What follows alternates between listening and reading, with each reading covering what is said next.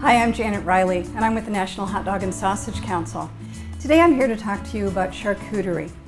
Charcuterie is a word that has different meanings to different people. To some, charcuterie is a French culinary art that dates back to the 15th century. To others, it's a deli-style store where cured meats and air-dried sausages are produced and sold.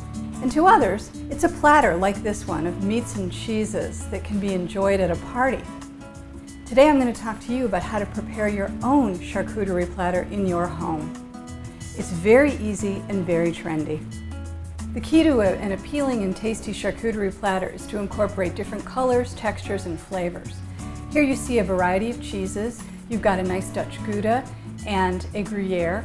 You've also got a nice salami along with an Italian ham and a cooked mortadella. I've also added some olives and some cornichon along with some crackers of different shapes and I've tossed on a few pecans for added texture. Now I'm going to actually walk you through making another charcuterie platter. I'm going to start with this delicious looking peppered salami. Now this is probably too large for my charcuterie platter, so I'm actually going to cut it in half. Now that I've cut the salami in half, I'm going to slice a few thin pieces to lay in front of the log on the platter it's convenient and it gives it some very nice color and presentation. Now that I've sliced a few pieces, I'm going to transfer it to my charcuterie board here. And I've chosen a manchego to complement it. It's a very mild, firm cheese and it's got a very pretty uh, yellow color that will contrast nicely with the salami. This manchego is a bit too much, so I'm going to simply cut it in half. And it's always nice to use these identifiers to show people what kind of cheese they're eating. To add more color and texture, I'm going to show you how to prepare these prosciutto wrapped breadsticks as well. Prosciutto is a very salty, very thinly sliced ham. It can be very sticky to work with, so the colder it is, the easier it is to handle.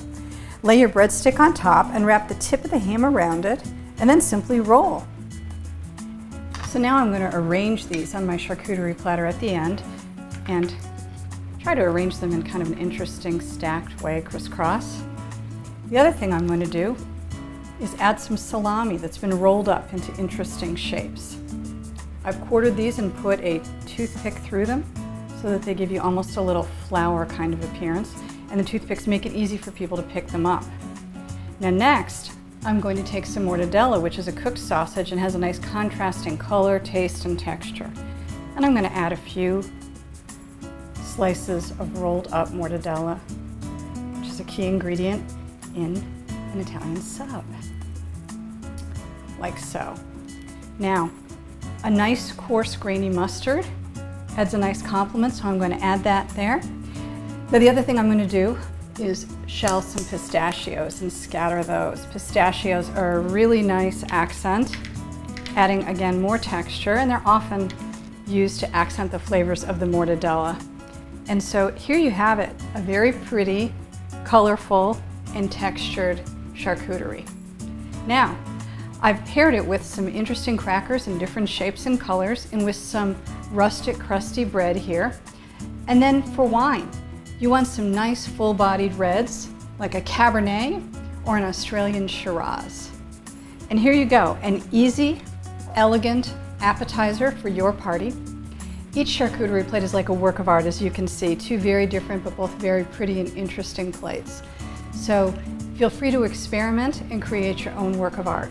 And for tips about how to prepare a charcuterie plate, be sure to visit www.hot-dog.org and go to our new guide to charcuterie. Enjoy!